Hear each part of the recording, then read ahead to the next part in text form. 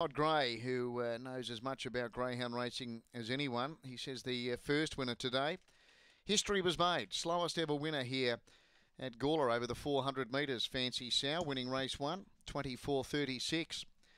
This is race 10, so they're about to go now. Stand by for a start here. Off they go, and a pretty even sort of a start, really. Trying to find an early leader. Rhoda Blade was looking for it, but heading it off. Claretown Lily. Dawn to Dusk went to third, then just got him. Fabridus next from Kalua Rose, then gonna do Peekaboo. Last Stitch Merrick running up to the turn. The leader, Claretown Lily, from Dawn to Dusk. Rhoda Blade just got him. Claretown Lily in front, double for Des Hockley. Claretown Lily beats Dawn to Dusk. Rhoda Blade third, just got him fourth.